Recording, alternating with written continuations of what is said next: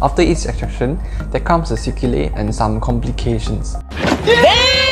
Instead of fearing the complications from happening, why not we do some precautions for preventing them from happening? I'm Dr. Scott Lim, your friendly neighborhood dentist.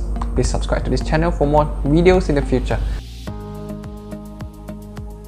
Like any other wound, after removing a tooth, especially a wisdom tooth, then we'll have a hole in our mouth. What can we do to make it heal faster, better, and more comfortable? The first thing you should do during that day, right after the surgery, you should bite out the gauze the dentist give you for 1 hour to stop the bleeding. You should brush other areas like normal, but avoid the wound.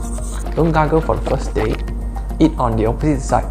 Having cold instead of hot food, like ice cream and yogurt is the best.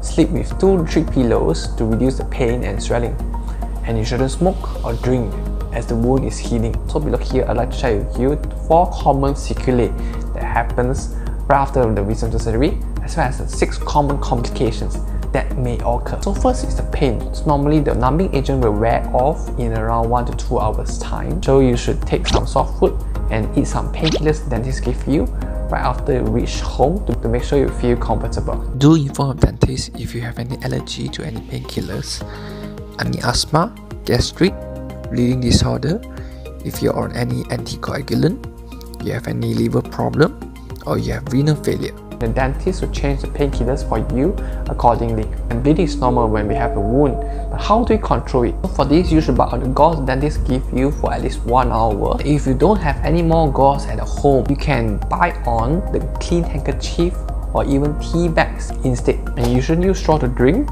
or white gargling for the first day as well as avoid strength exercise for the first day. Also, a little bit of bleeding is normal within the 24 hours right after you have a wound, but if the bleeding continues after the first day or the bleeding become more profuse on that day itself, then you need to go back to the dentist immediately or you need to go to hospital for immediate care.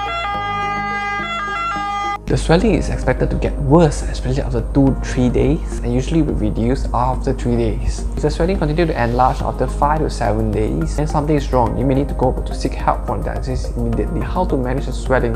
Just place a cold pack for 5 minutes, then rest for 20 minutes, and you can reapply again.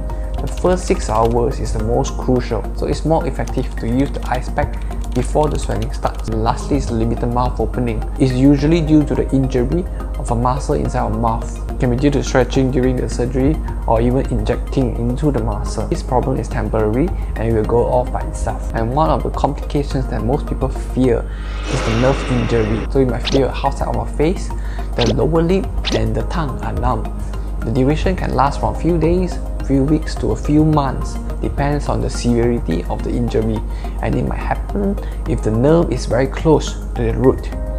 So even though it's injured, it may recover depending on the severity. And secondly is the infection. If after 3 days you still have swelling, pain, fever or even bad smell or pus, then it may be a sign that you are having infection in the wound. You go back to your dentist immediately and your dentist will easily manage the problem by cleaning the wound as well as giving you antibiotics. And number three is a dry socket. It's different from the infection because it doesn't have fever. Normally if you have clot that forms that close the whole socket.